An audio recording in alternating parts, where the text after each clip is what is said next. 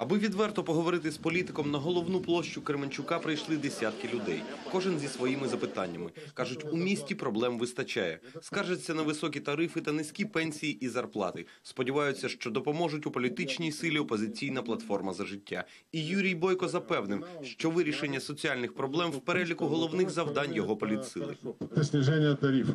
Мы готовимся заключить контракт по закупке прямой газа, потому что этот же российский газ Сегодняшняя власть берет из Европы на 100 долларов дороже, и все это перекладывается на тарифы, все это перекладывается на хлеб, на сахар, на все продукты, которые, в которых присутствуют энергоносители, в которых газ играет роль.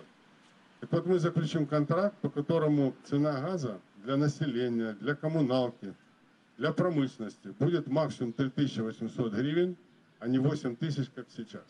Та найбільше людей хвилює питання встановлення миру в Україні. мир в нашей стране многострадальной.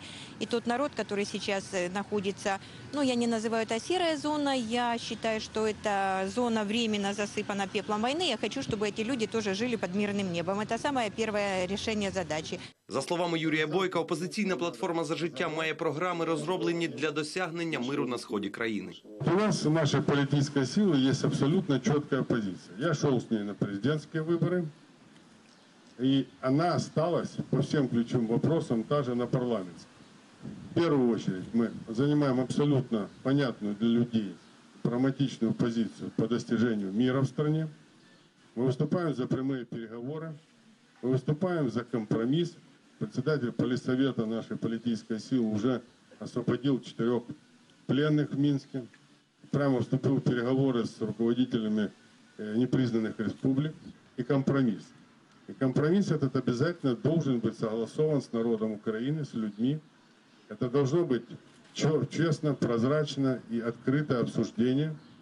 И когда люди одобрят, тогда будет подписан мирный договор. Щоб досягти всіх поставлених цілей, політична сила опозиційна платформа за життя йде до Верховної Ради потужною та злагодженою командою, адже роботи попереду дуже багато.